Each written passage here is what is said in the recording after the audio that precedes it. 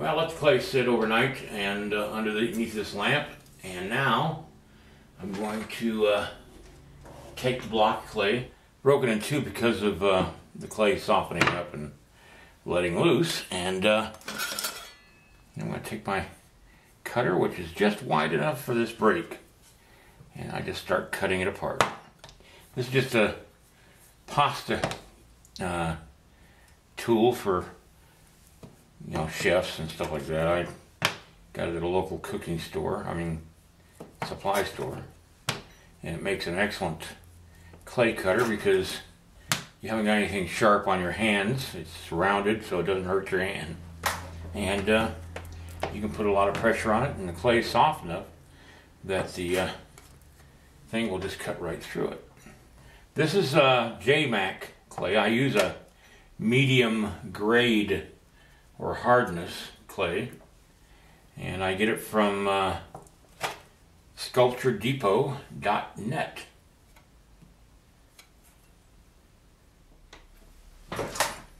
Okay, the other half of this, uh, it's a 10 pound block of clay, and that's uh, what you get. You uh, order a box of clay, uh, it's 50 pounds, and it comes in five 10 pound blocks. And a block will, you know, do quite a bit of work. Anyway, this is too wide for this both ways, so what I do is I just go like that and like that, and then that gives me the halfway point, and or you just draw a line and halfway, and then I cut it down the middle and separate the two halves, and then cut them apart separately.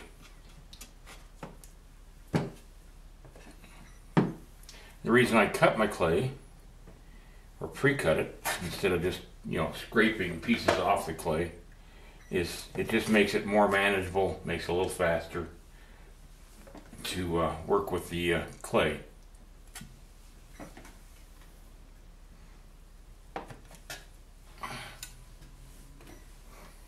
That's the way the clay looks like in the uh, bucket or the dish pan. I cut a hole in the side of the dish pan so I can reach my arm in there a lot easier than having to reach over and dig around for clay. I think it's a little easier. All right, it's time to make some major changes here. And it means cutting this thing apart. Right, I got this little paring knife, which works really nice. And what I'm going to do is heat it up with a, a blade, I mean a lighter. That just makes it cut through the clay a little easier. I think I better get myself a rag here.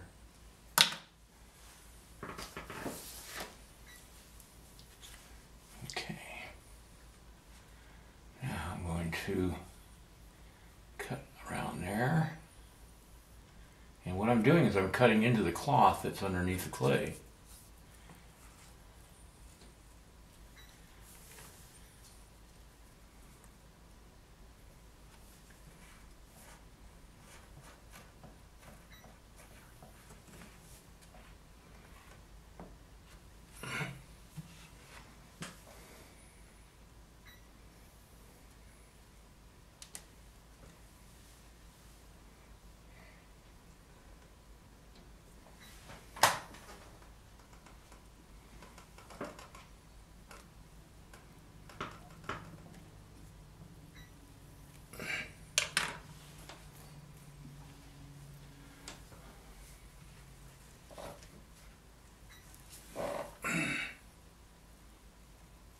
Not, not worried about his arm because I'm going to be uh, changing the position of his arm altogether.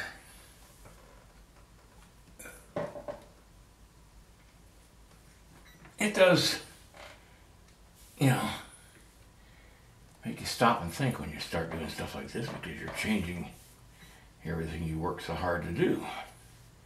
But I think in the long run, it's going to be okay.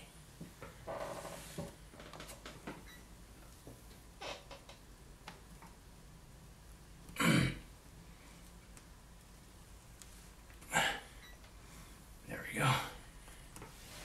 Whew. All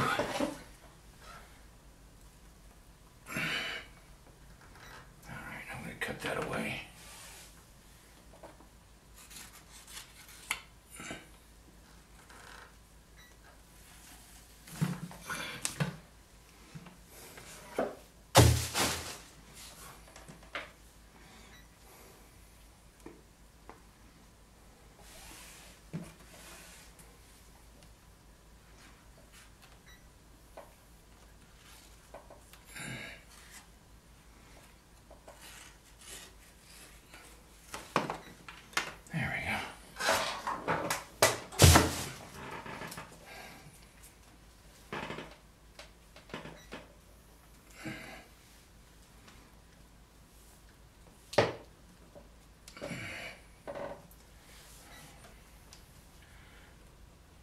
I think what I'm to do is have him putting a blanket around her shoulder. I don't know yet. But uh, just want to change that position real quick. There we go. And uh, this is going to mean I'm going to have to resculpt the hand, but that's no big deal. And I'm going to take this. I'm to find my pliers here. And I'm not to straighten it out because it just broke. But I'm going to bend the hand down right there and push it into her to hold her in place. Uh, want her a little closer to him. So I'm going to move her over just a little bit. There we go. Get her a little bit more closer to him. The whole damn armature for his arm just broke off. No big deal. No big deal.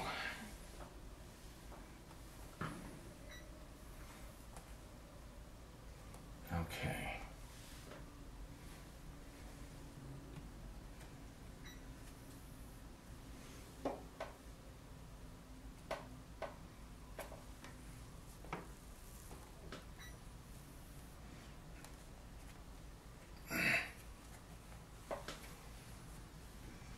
She's wanting to fall forward, so I'm going to have to stop her from doing that.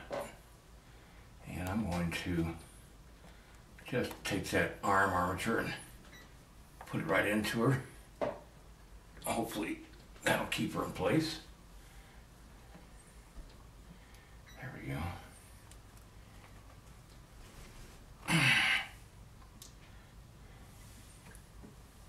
It's like she's leaning into him. See how it looks. It's always hard to change something after you've already done it for something else. Yeah, I'm not sure this is going to even work, but uh, got to attempt it. Okay, I'm going to start filling in some of this with clay to hold her in place.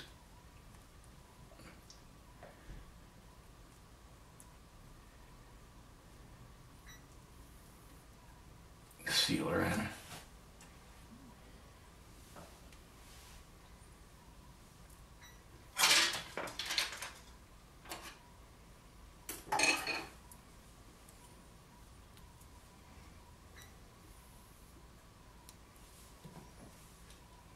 Yeah, I think that's going to work out just fine.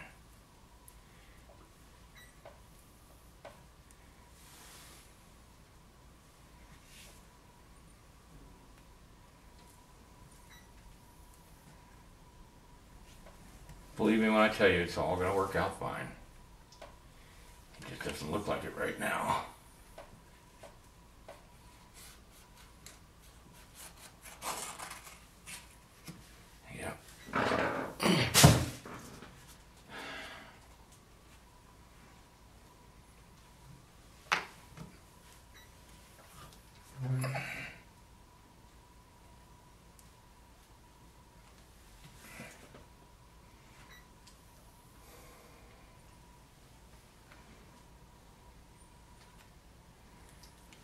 Okay, I'm gonna leave it like that overnight.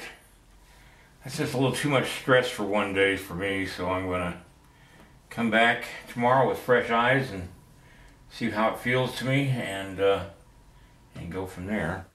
If you want to see how I created uh, each one of these figures from scratch, uh, I do have uh, DVDs available on that, on each uh, figure, uh, the female and the mountain man, and I have links below the video here that will allow you to, uh, you know, buy them. But anyway, it just, I'm thinking I'm going to have them standing in snow, but I'm not certain yet. All right, well, everybody have a great night, and I'll uh, uh, get back on this uh, as soon as I can.